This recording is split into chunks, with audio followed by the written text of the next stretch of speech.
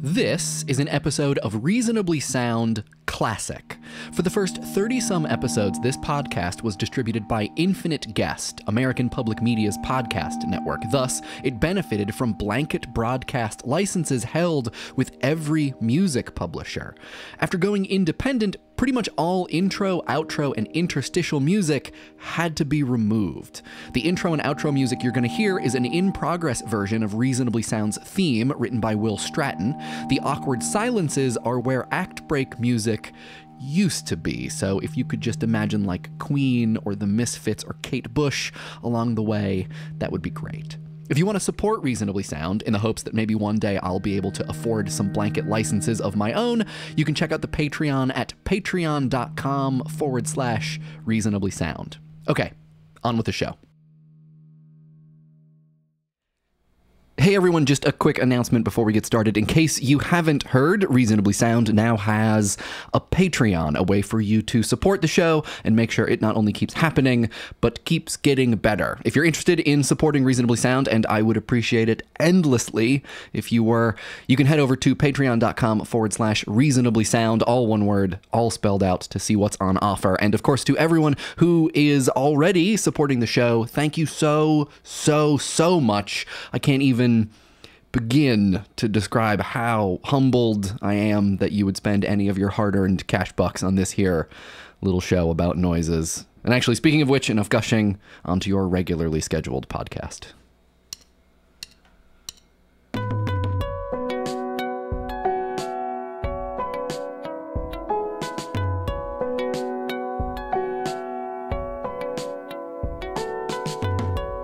So I'm an only child, but when I would go on vacation or long road trips with my parents as a kid, I would always bring a companion of some kind.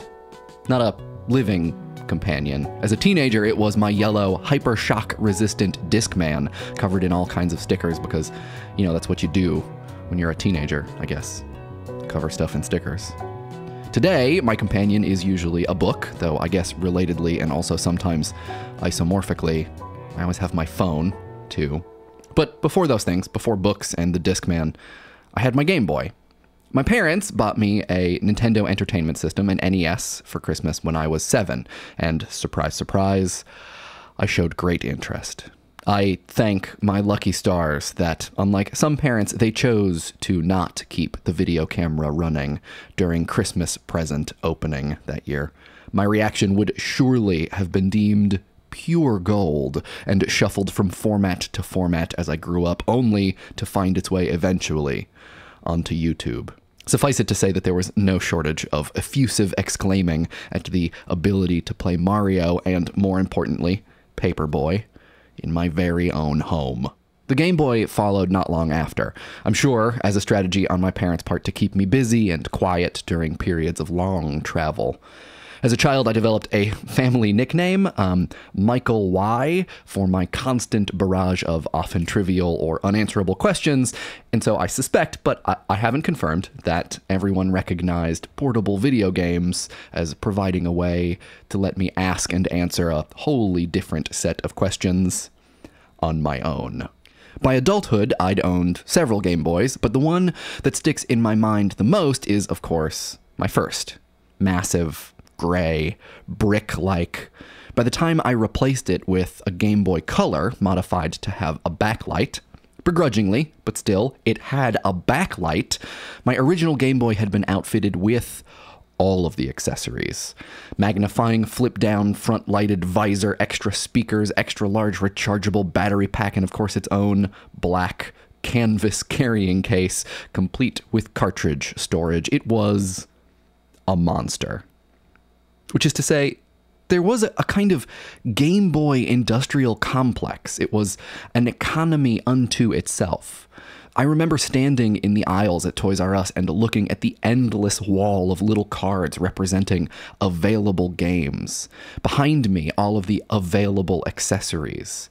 The Game Boy was, and I think remained up until the smartphone, something of the paradigmatic portable gaming console. And the numbers, they support this thought. The run of the product line, which includes any object titled Game Boy in some way, lasted nearly 20 years. From 1989 to 2008, the Game Boy line sold over 200 million units. For comparison, Sega's Game Gear sold 11 million total units during its seven year production run, the Atari Lynx just 3 million in six years. So, I hope that you'll permit me the claim that the Game Boy is the single most popular handheld video game console. But importantly, as Kevin Driscoll and Joshua Diaz point out in their 2009 paper Endless Loop, this additionally made it the single most popular synthesizer, as in the musical instrument, even if people didn't use it as one.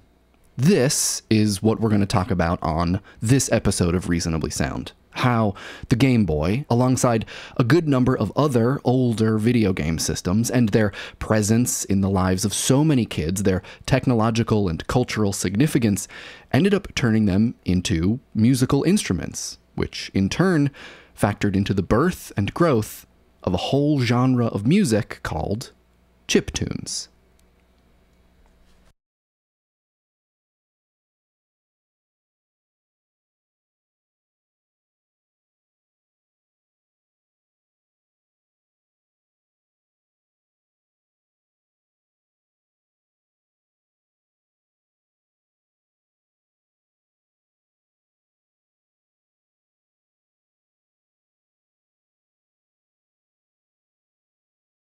For those of you unfamiliar with the chip tune genre, the snippet you just heard, Can't Stop Us by Chipzel, which I know from the amazing mixtape project Chiptunes Equals Win, is pretty representative. Upbeat, lots of arpeggios, a thing we're going to talk more about later.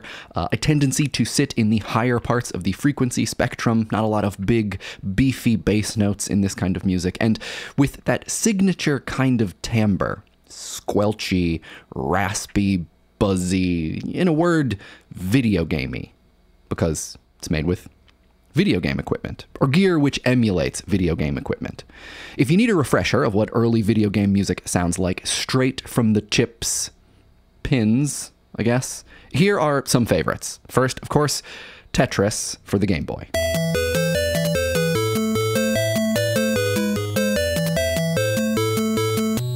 And then Times of Lore for the Commodore 64.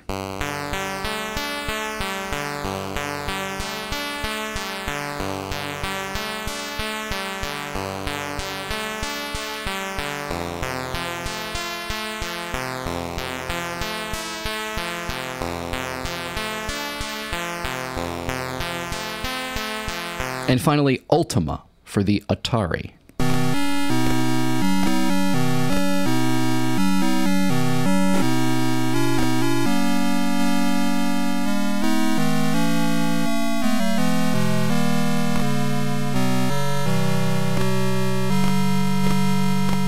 Now, I know I made a big deal up at the front about the Game Boy specifically, and we're to make a big deal about it again in a little bit, but yeah, all kinds of old school video game gear is responsible for these lo fi blips and bloops. They're called chip tunes, after all, not boy tunes. It's not the specific system that matters so much as its, drumroll please, sound chip. This is one reason chip tunes is an interesting genre.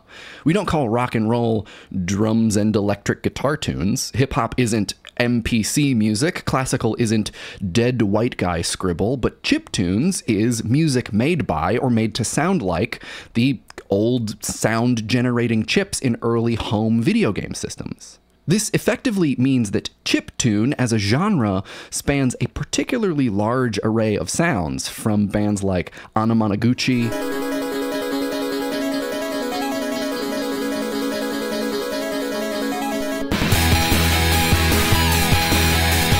To Fat Frumos.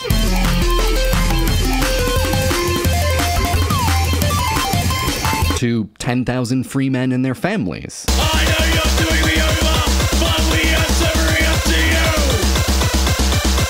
If in all of these examples the chip sounds were removed or replaced with more well known instrument sounds, we'd call these three very distinct genres. And in a way they are, but to many listeners, the chip sounds themselves are so recognizable and have such a strong association that it's difficult to hear music using them and not think of it as making a point. Unlike a guitar or a piano, or even your normal run of the mill synthesizer, chip sounds still mean some very specific thing. And so, whatever other sonic rifts exist within the genre, they're closed to a certain degree via the presence of chip sounds. This makes the genre complex, though the chips driving it may be, relatively speaking, rather simple. But okay, here we may now ask what chips? Surely there are many chips. Why these chips?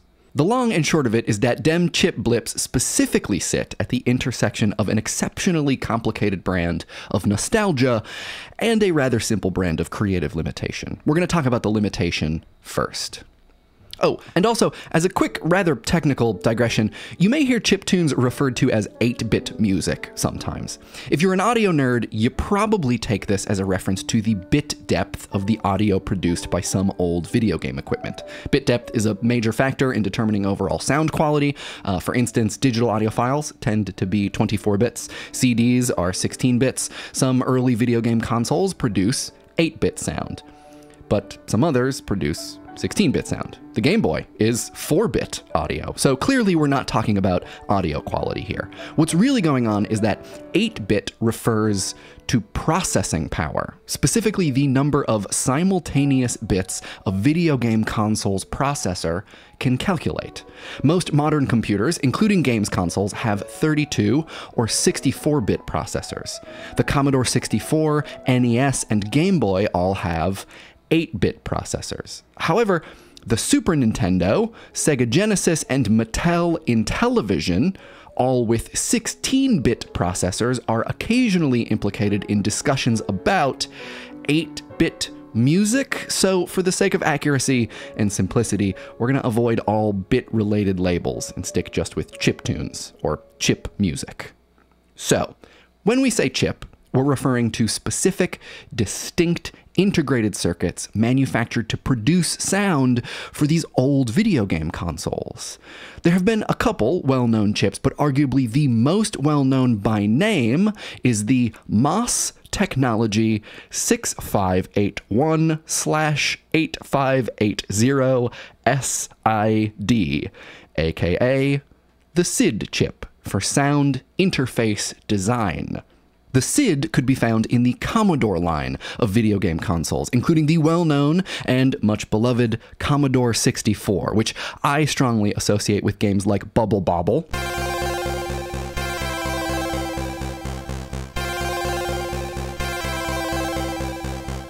Ghosts and Goblins.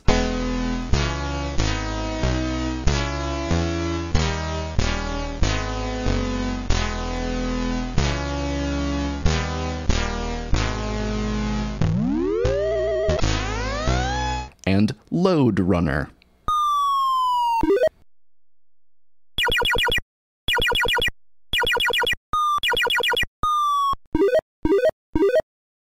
The SID was developed by Robert Yannes. Y- Yan Yannis Yannis, Y A N N E S, your guess is as good as mine, who was frustrated that console gaming systems hadn't, up until that point, supported much musicality. He said that existing music technologies in video games were, quote, primitive and obviously had been designed by people who knew nothing about music. The beeping of Pong, for instance, when the ball hits the paddle or when a player scores a point, they were all originally supposed to be sound effects clapping, booing, and so on. But that idea was scrapped pretty quickly in the face of memory constraints. In her book Game Sound, Karen Collins includes a story told by Pong designer Al Alcorn, where he explains that the sounds of Pong are simply what he could make the machine do without adding extra stuff. They were, quote, the sounds that were already in the machine. Well, for Yannis, the developer of the SID, already in the machine sounds weren't good enough. But you know, this is 1981. Computers aren't the number crunching, memory having powerhouses we're used to now. Storage and processing capability were minimal. The SID and all of the other chips that would come along and resemble it couldn't store, you know, sounds. It wasn't going to play back samples of dogs barking or Chopin's Minute Waltz or whatever. The sounds that the chip would play back were sounds that the chip itself could make. It would synthesize them. And these chips could make a few very specific sounds, and not many of them at the same time. Most old console game sound chips had two to four voices, meaning that they could make two to four sounds at the same time. The SID had three voices, the Game Boy chip has four. Each of those voices can be switched between one of a few waveforms, usually a pulse, triangle, saw, and noise wave. One of Game Boy's four voices is a wavetable voice, which basically just means a slightly more complicated sound within very, very strict limitations can be synthesized. The pitch of each voice can be changed, of course, and the voices can be combined and cross modulated in various ways. Most chips have a filter of some kind, and of course, volumes can be adjusted.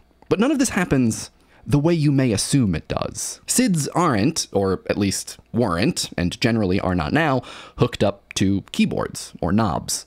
The kinds of chips we're talking about here belong to a larger category of chip called programmable sound generators, or PSGs, meaning video game music programmers are just that programmers. Chip music played by chips in video games is written in code, originally assembly code, which looks, roughly speaking, like gobbledygook. Strings of random seeming letters, numbers, and occasional symbols chunked together into small segments representing the lowest positions in the data amount totem pole. Today, chip musicians don't have to write assembly if they don't want to, but a fair amount of songwriting is still done in programs known as trackers, which might as well be programming. LSDJ or Nanoloop, both of which exist as actual Game Boy cartridges, are two of the most popular chip tune trackers, and basically, they're just empty grids. Each spot on the grid controls a different value for each note, pitch, filter settings, volume, that you enter manually, one at a time, for every note. You fill out a bunch of grids, fill them out differently, different strings of carefully entered values, you switch between them in time, and you've made a chip tune. It's not programming, but it's also not not programming. In other words, chip music is not just limited sonically, but difficult practically. Which, if you ask a chip musician, or really, heck, most musicians, most artists for that matter, is kind of part of the fun. What's that what's that famous saying? It's like limitation breeds awesome ideas because I mean what other choice do you have? Am I right? Something like that. Basically, if you're into creative limitation and you want to make electronic music, this is one of the most limiting methods, short of, I guess, engineering your own chip. Blindfolded. While drunk. So, anyways, this means that video game music programmers then and chip musicians now have to come up with all kinds of tricks, techniques, and workarounds to get the kind of complex sounds that they want from very, very simple bits of chip kit. One such trick, and one of the hallmarks of chip music, is the arpeggio. Now, in strictly musical terms, an arpeggio is when you have a chord and you play each note in that chord one at a time. Simple. But what chip musicians old and new figured out is that if you speed up that arpeggio, interesting things start to happen. What was once three or four distinct notes, one after the other, becomes a complex of sound effects, seemingly multiple voices all at once, though it is but one. Arpeggios then create complexity out of simplicity, which is hella exciting.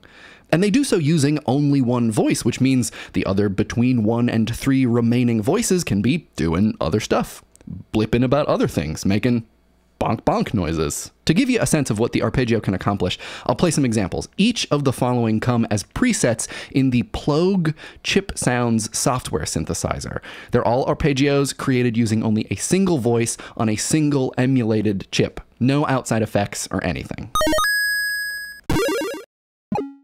Now, Every signature sound has its weird secret details. The Columbia Records sound of the 60s meant re recording records in this one particularly reverberant stairwell. The Sigur Rós sound is all thanks to a swimming pool, and the old Wu Tang sound is largely credited to the second rate sampler they were using in their early career. For chip tunes, it's the wave shapes and the low bitrate of the chips, sure, but also, I think, on the genre level, on the music writing level, and more than a little, it's the arpeggios. In my mind, the way arpeggios are deployed in chip music is a kind of metonym, a small, simple part which very effectively references the whole. A sonic characteristic which channels much broader concepts of what it means to make and enjoy chip music. Which does start us down this road of talking about the kinds of associations people have with chip tunes and the meaning we can find in the usage of video game gear as a musical instrument.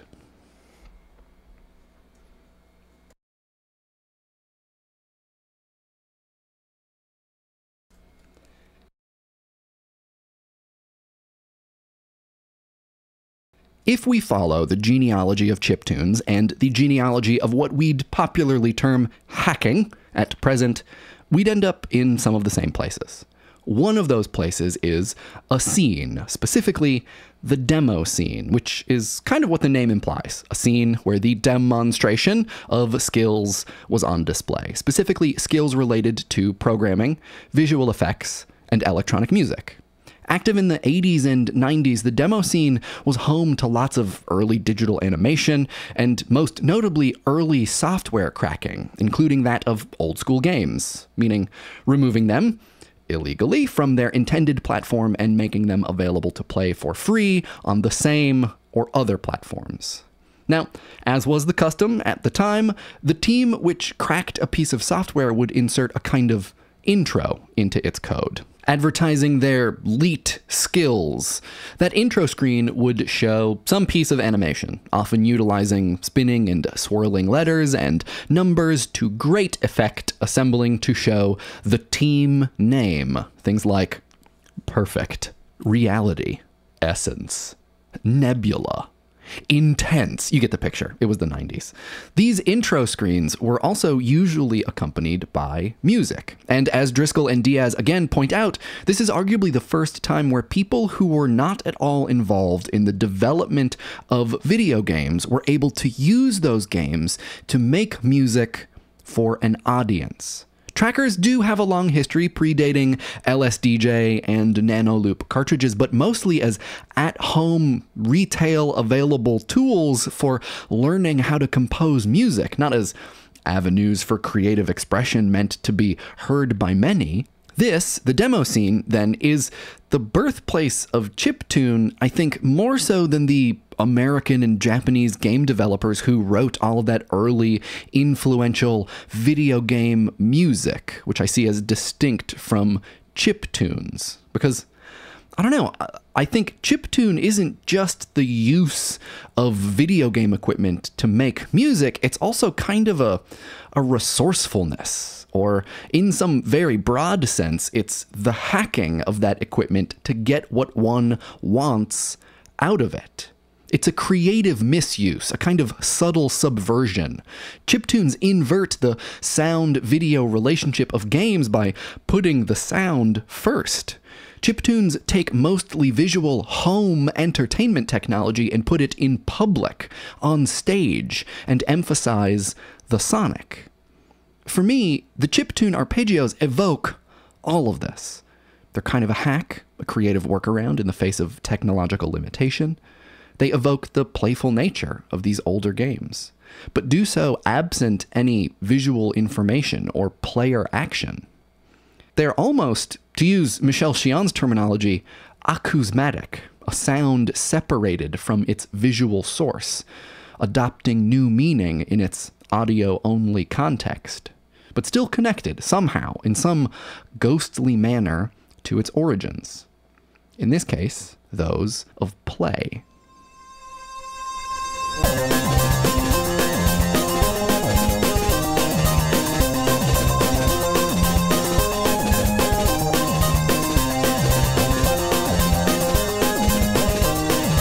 Malcolm McLaren is most famously the guy that sold punk rock to the world. He worked with the New York Dolls, managed the Sex Pistols, and has generally had a hand in pretty much all of the pies comprising the popular music vernacular. He was, as my parents might say, like horseshit everywhere a saying which makes a lot more sense if you live in Boston, I guess. Anyway, in 2003, McLaren wrote a piece for Wired about how chip tune music was the new punk rock, anti establishment, often difficult listening, community driven, resistant to commercialization, made with cheap old gear, and so on and so forth. The chip community, however, balked. For one, old video game gear isn't mostly just laying around. I know, I know it seems like it should be, but really, it isn't. I don't know where any of my old video game systems are. And I just called my father to find out if he knows. And even he, he has no idea. He has no clue.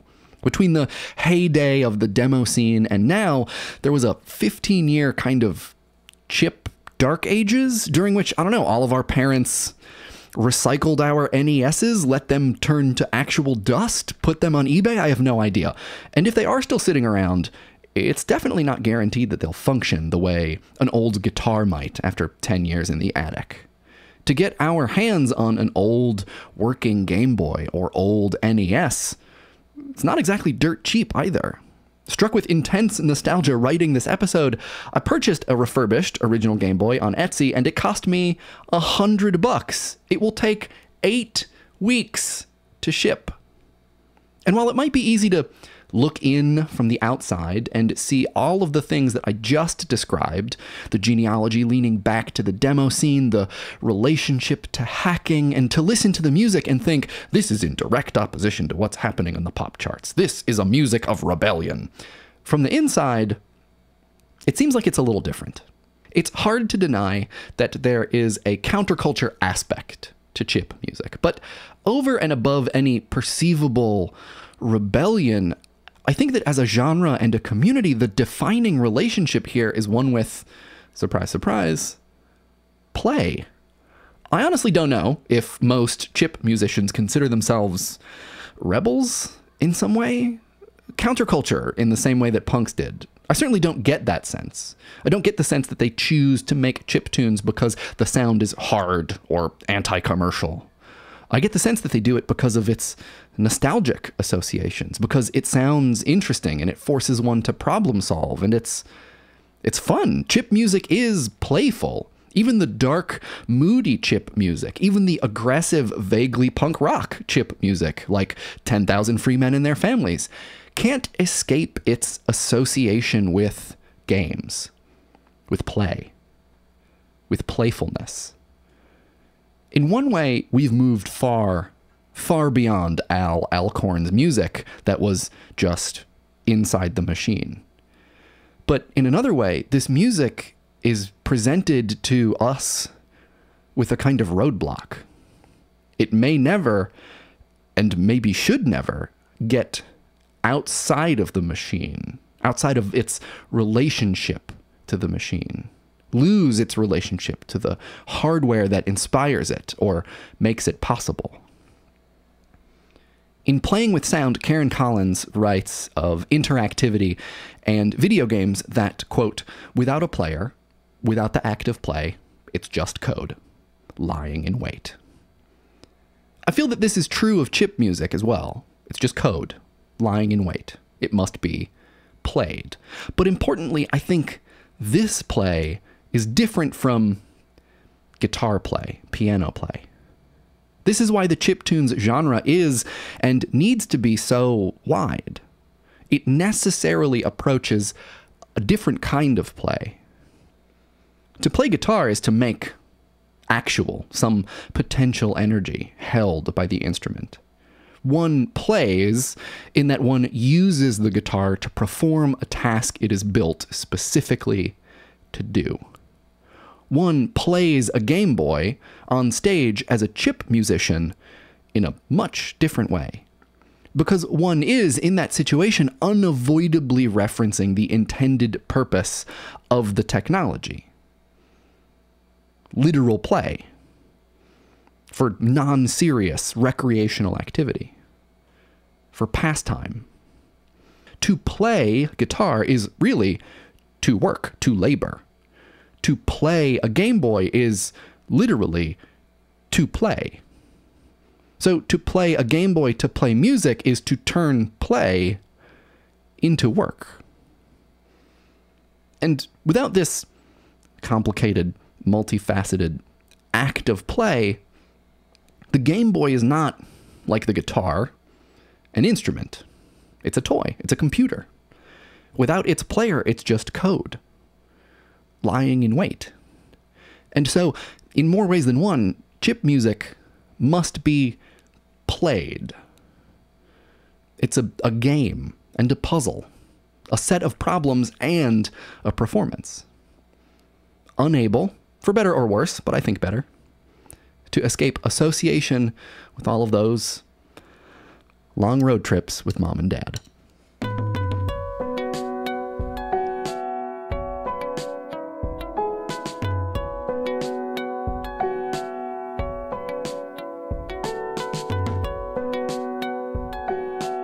My name is Mike Rugnetta, and this podcast has been Reasonably Sound. You can find Reasonably Sound on Twitter and Instagram at reasonably_snd. You can find Reasonably Sound on Patreon at patreon.com forward slash reasonably sound. You can find me, Mike Rugnetta, on Twitter, Tumblr, Instagram, and Snapchat at Mike Rugnetta.